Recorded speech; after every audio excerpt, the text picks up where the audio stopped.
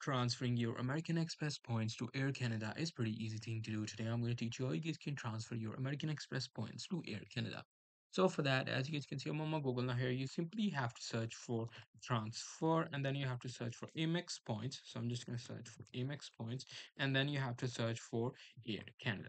Now after searching for that, you simply have to go to the first website which should say Aeroplan airplane membership rewards.